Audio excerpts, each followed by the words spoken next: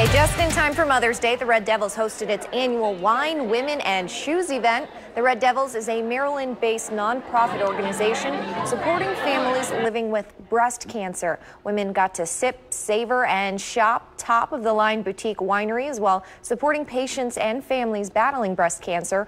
And all of the proceeds from the event, event supports patient services that can be obstacles or burdens as they go through treatment.